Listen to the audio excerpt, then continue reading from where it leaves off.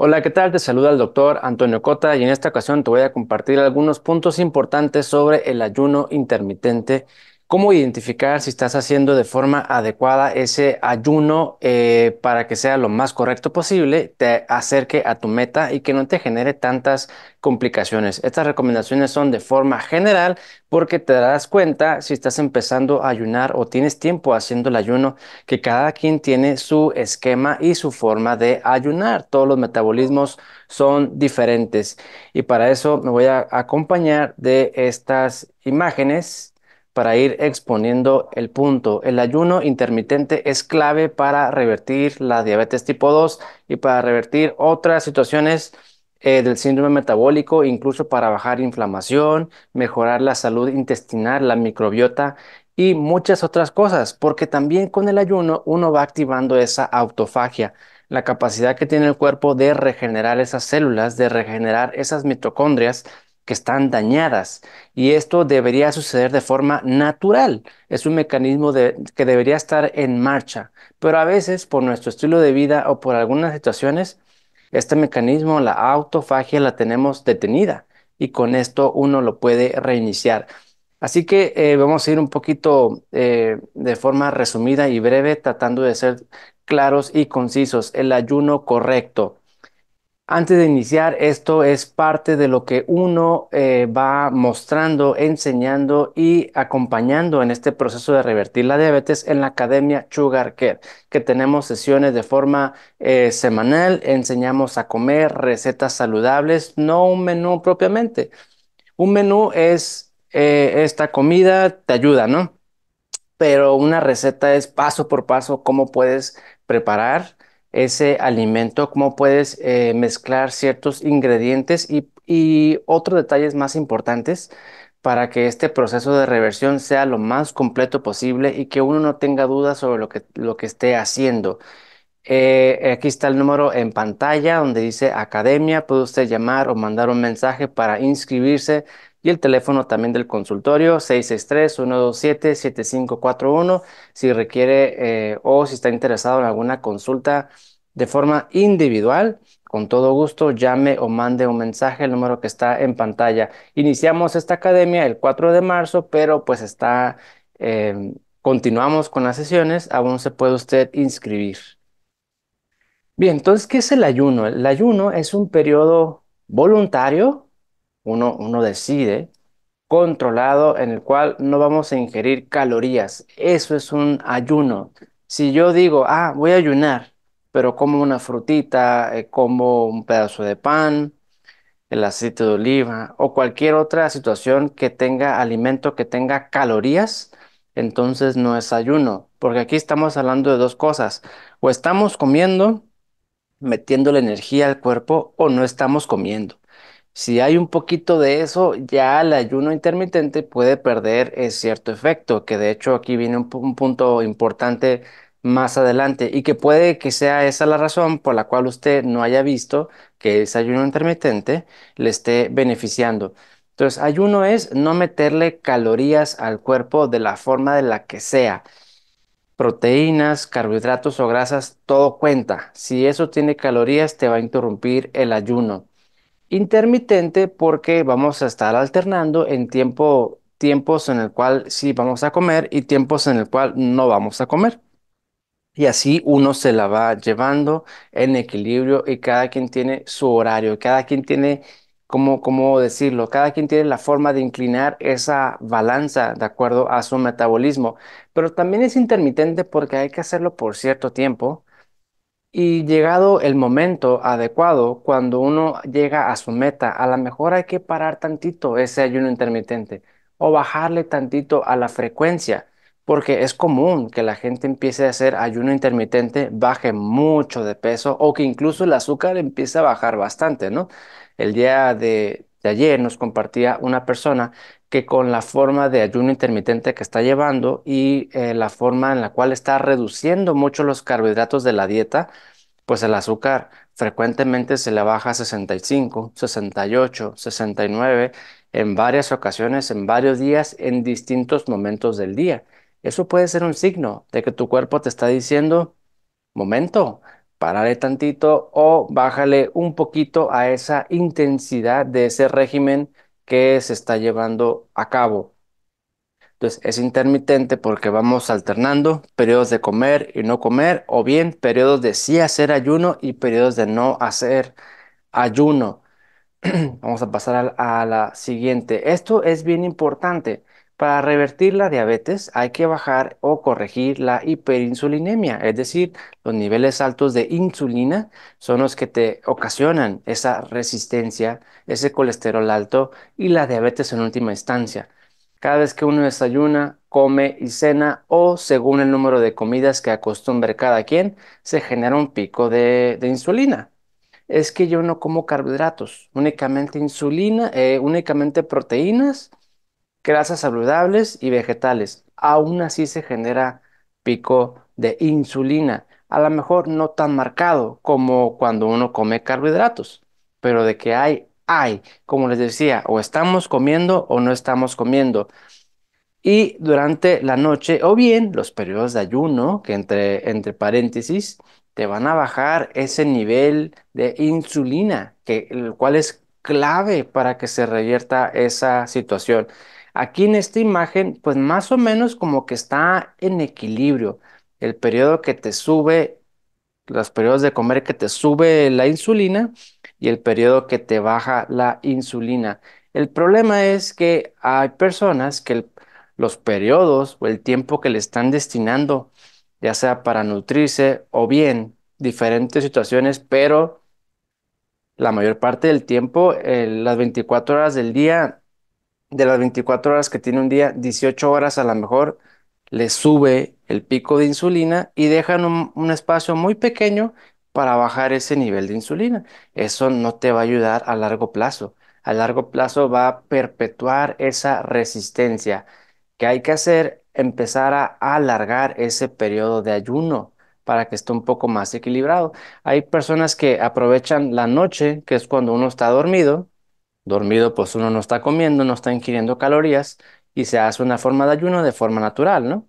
O hay gente que, ok, en la noche, pero aparte ya sea que se salte el desayuno o empiecen a cenar un poco más temprano, ¿no? Si uno cena más temprano, entonces el ayuno estaría como así más o menos, más largo, más te baja ese pico de insulina. Esto es clave, pero también tiene que estar en equilibrio, ¿no?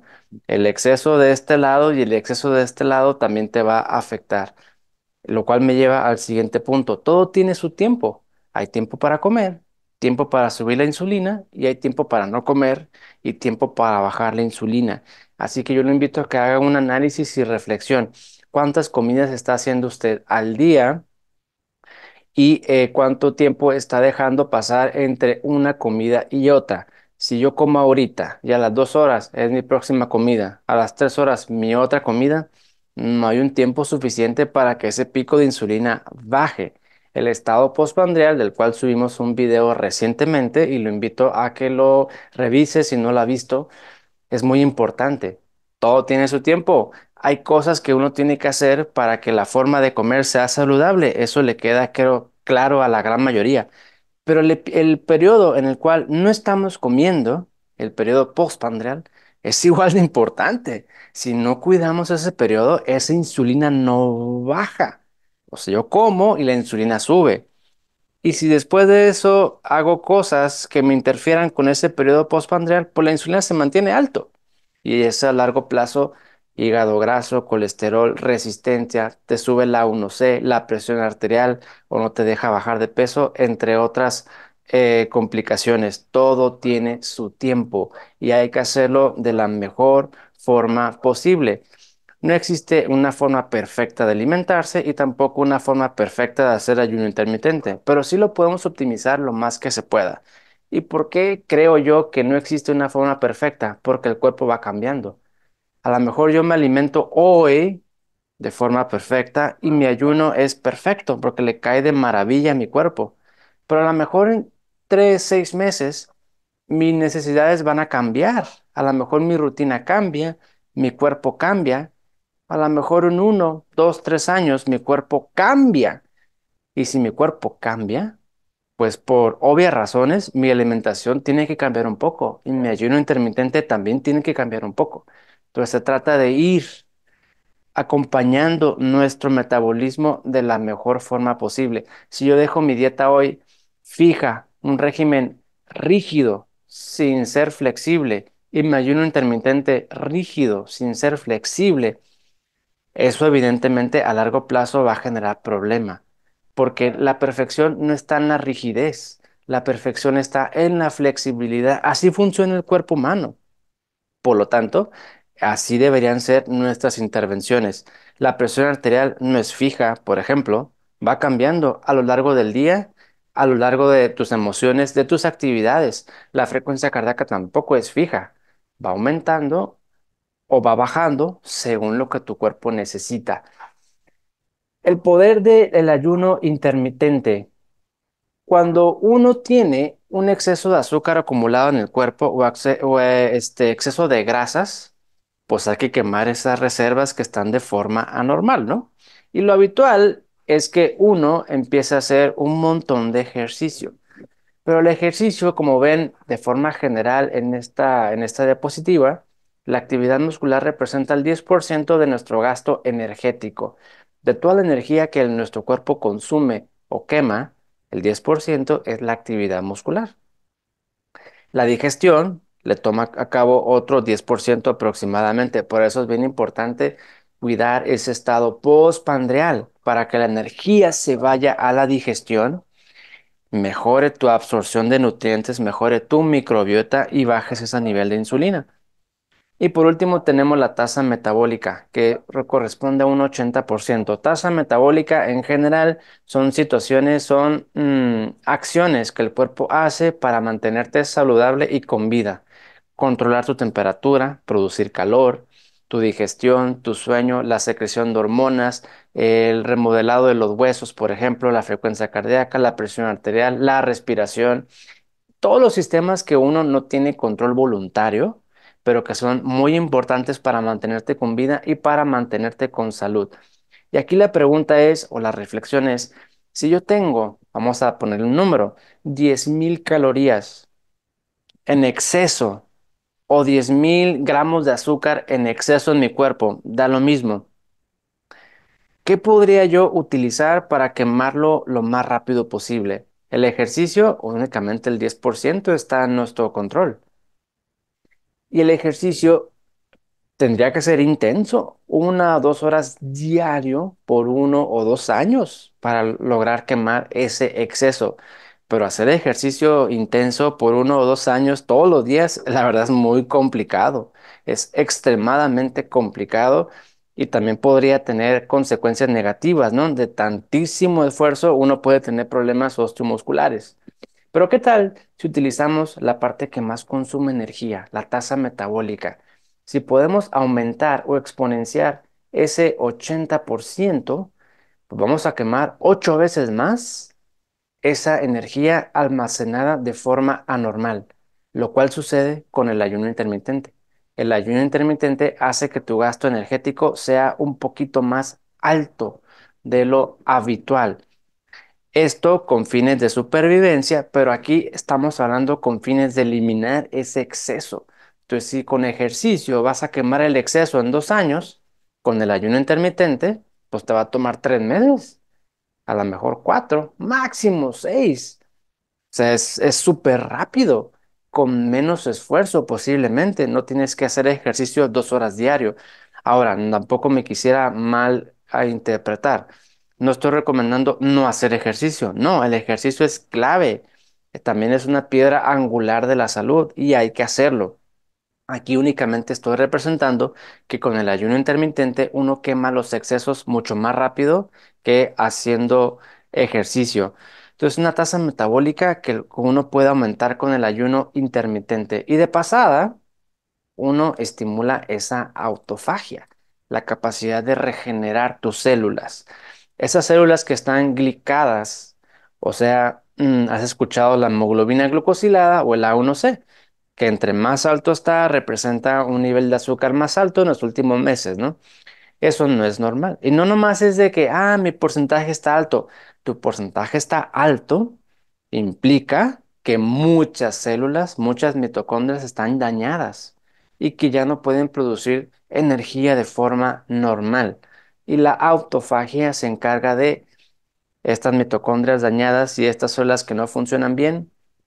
Vámonos, para reemplazarlas por células y estructuras nuevas que funcionen al 100%. Además de que te va a dar más energía, te va a ayudar a revertir ciertas complicaciones. ¿eh? La neuropatía, retinopatía, nefropatía, por no decir que te elimina toxinas, son antioxidantes, elimina radicales libres, lo cual te va a ayudar para bajar esa inflamación. Por eso el ayuno intermitente tiene muchas más eh, beneficios aparte de bajar únicamente el nivel de azúcar.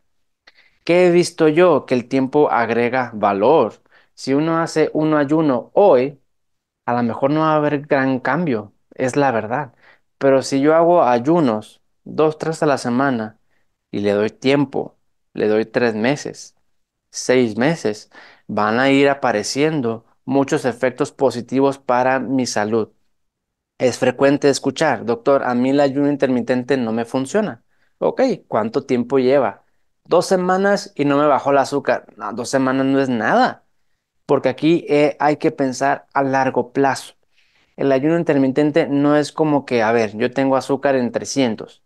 Voy a hacer ayuno para que me baje ahorita a 100. No funciona así, o no se trata de eso. Si lo observas, qué bueno, evidentemente, pero si no lo observas, dale tiempo, dale dos, tres meses y va, va a usted ver cómo el ayuno va a ir bajando, obviamente acompañado de una dieta baja en carbohidratos, confirmando que su páncreas funcione bien, porque hay casos de diabetes tipo 1 que requieren insulina. Si- con ayuno intermitente no van a bajar el azúcar, requieren también de otras intervenciones y darle tiempo. ¿Y qué he observado yo? Que conforme uno más tiempo le da, van apareciendo más beneficios, más allá de lo que uno pueda leer, investigar o ver en algún video. Cada cuerpo es diferente, siguen apareciendo efectos. Yo, por ejemplo, con el tiempo de hacer ayuno, aparte de que bajé de peso, bajé la panza, bajé 20 kilogramos, además noté que la migraña, cero migraña. Alergias, cero alergias. Estreñimiento, cero estreñimiento. Pero al cabo de más o menos 6 7 meses de hacer el ayuno intermitente, ¿no? Yo no me esperaba esos beneficios, pero uno los va observando y así hay muchas personas. De hecho, hay gente que me dice, yo con el ayuno bajé el azúcar, bajé de peso, el colesterol, ok. Pero después, ciertos meses o años, se les quita la artritis, se les quita el dolor de huesos, se les quita la neuropatía y muchas cosas más. El tiempo agrega valor, hay que darle tiempo a ese ayuno. Este punto me parece muy importante. Ayunos parciales contra ayunos totales. No está descrito probablemente de forma oficial en la literatura. Hay pocas publicaciones al respecto, pero la verdad es que sí existe diferencia. Un ayuno parcial viene siendo, por ejemplo, vamos a repetir la definición de ayuno, es no meterle calorías, nada que tenga energía al cuerpo, ¿no? Yo voy a hacer ayuno, por ejemplo, pero si yo utilizo stevia, fruta del monje, caldo de hueso, café con un poco de leche, ahí hay cierta energía y eso le podría restar un poquito de eficacia a ese ayuno intermitente. La mayor parte de las veces no es significativo, es decir, la gente, las personas pueden hacer ayunos parciales, incluir esto que están viendo aquí un poquito y aún así el ayuno les da el beneficio mejoran con ese esquema, pero hay personas que con esos ayunos parciales no ven ninguna mejoría. Y ahí lo que hay que hacer, que bueno, hay varias posibilidades, pero una de ellas es convertir ese ayuno parcial en un ayuno total. Lo encuentran ustedes como ayuno de agua prácticamente. O sea, únicamente agua, así literal como lo están escuchando, únicamente agua en ese periodo de ayuno, porque el agua no te va a interferir y no te va a bajar esa efectividad del ayuno. Antes de eh, seguir con esto, ayunos parciales. Hay personas que, por ejemplo, toman el vinagre de manzana en la mañana o el aceite de oliva en la mañana.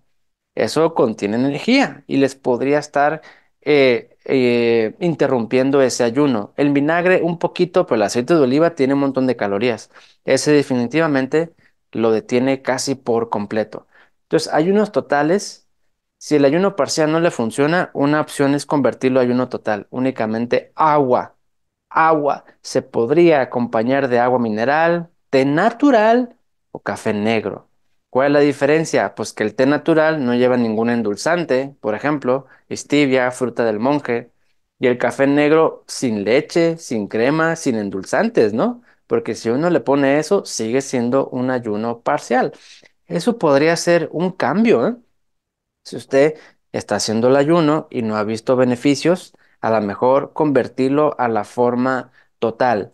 Y también esto creo que es bastante importante, que a veces existe cierta confusión. El ayuno recomendado de forma general. Ok, ayunos diarios de 12 horas mínimo para equilibrar el periodo de comer durante el día y el periodo de ayuno entre la noche.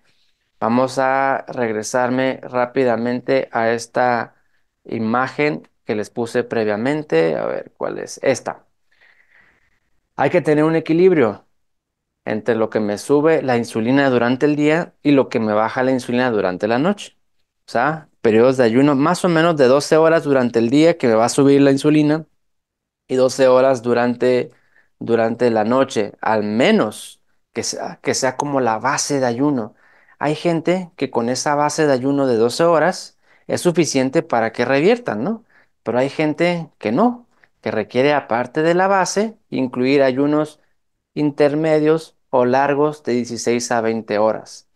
Tu base de ayuno diario, calcule usted mismo. Si su base de ayuno diario es de 8 horas nada más, entre la cena y el desayuno transcurren 8 horas, a lo mejor es muy poquito y ese podría ser otro cambio.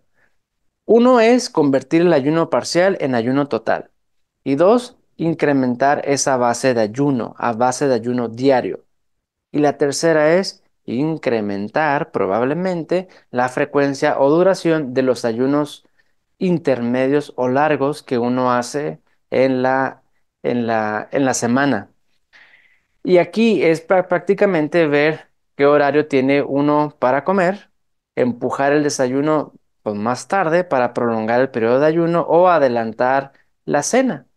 O bien hay quienes optan por llevarlo al siguiente nivel y se saltan por completo el desayuno o se saltan, saltan por completo esa, esa cena.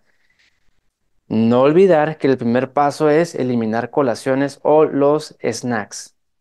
Y en esta imagen está representada la base de ayunos de 12 horas, ¿no? El periodo de comer durante el día y periodo de no comer durante la noche más o menos tiene que estar en cierto balance, 12-12, 14-10, a lo mejor 11, 11-13, más o menos así. Porque si está muy desequilibrado, el periodo de comer son 18 horas y el periodo de ayuno son 6, híjole, eso no te va a ayudar. No es una adecuada base para hacer el ayuno intermitente.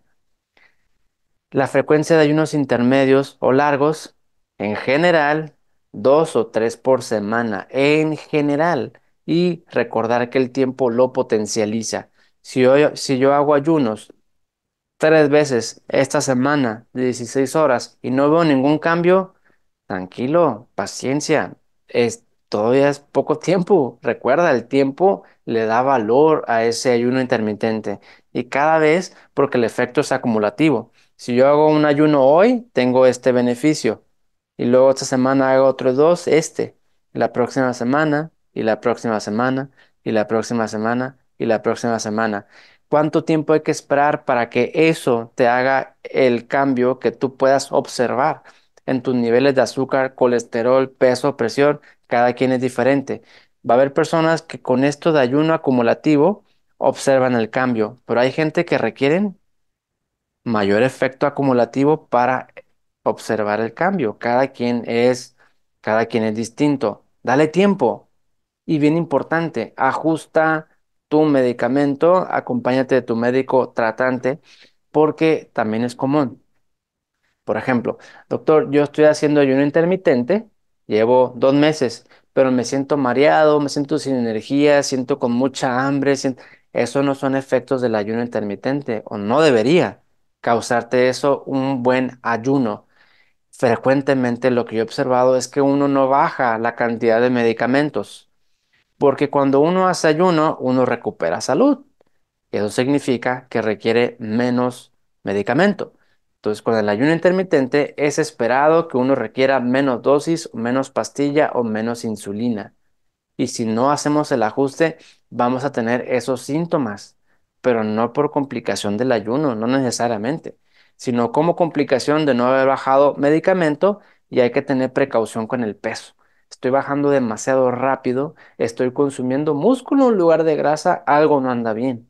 A lo mejor el ayuno es demasiado para esa persona o bien su dieta no es la adecuada, le está faltando proteína grasas, le está faltando carbohidrato complejo, complejo, o bien, volvemos al punto, no ha bajado sus medicamentos y tiene medicamentos que le causan eso y uno le puede estar atribuyendo ese efecto secundario al ayuno de forma equivocada cuando en realidad pueden ser los factores que te comenté previamente, ¿no?